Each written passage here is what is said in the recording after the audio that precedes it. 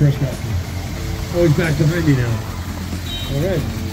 This is uh, thanks to the BIA. These guys are supporting the downtown uh,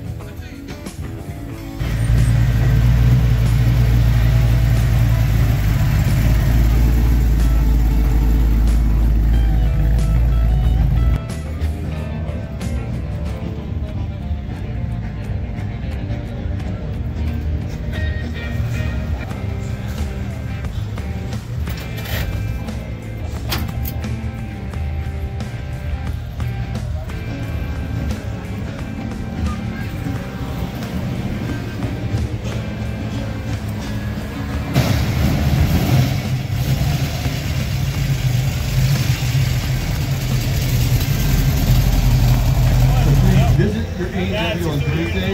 Buy a cheeseburger. Two dollars going towards the